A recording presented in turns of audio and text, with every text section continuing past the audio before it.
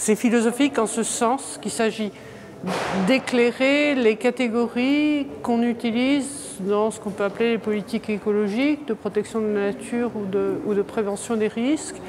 avec l'idée que ça, implique non seulement des conceptions de la nature, mais des façons d'utiliser le vocabulaire de la nature et qu'on a, besoin de le, de le, préciser parce que sinon on risque, disons, de dire des choses qu'on n'a pas idée de dire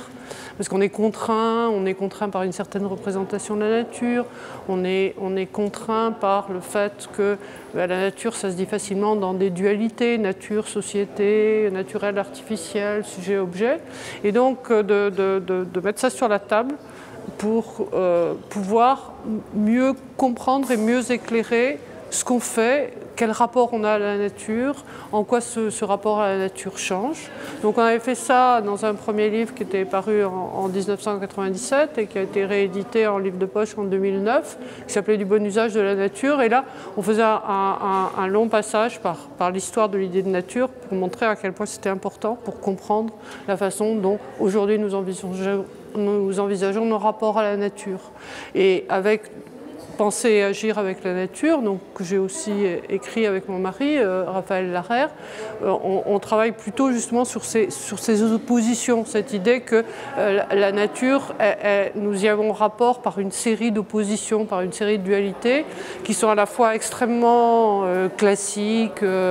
bon, on, parle de nature et culture, naturelle et, et en même temps de moins en moins pertinentes, parce que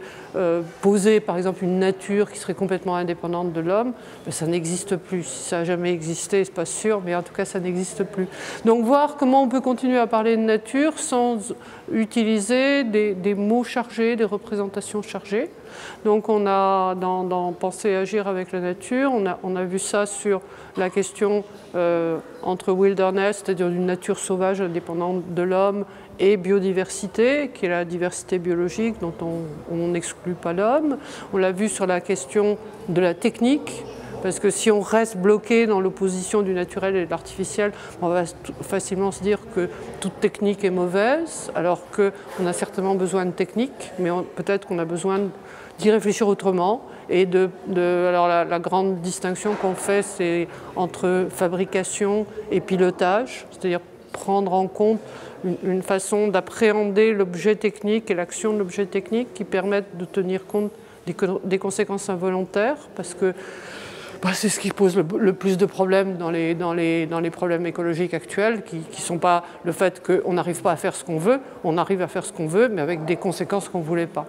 Et donc, euh, il faut avoir, euh, là aussi, essayer de trouver des, façons de réfléchir à notre rapport à la technique qui prennent en compte ces, ces, conséquences. Et puis aussi, bon, toute une dimension plus, normative, plus, morale, où... Euh, ben, comment est-ce qu'on peut concilier, disons, euh, rapport à la, nature et justice entre les hommes? Est-ce que ça doit être pensé de façon séparée ou est-ce qu'on peut penser à la fois une insertion dans la nature et des rapports de justice entre les hommes? Donc voilà, c'est ça qu'on fait dans Penser et agir avec la nature.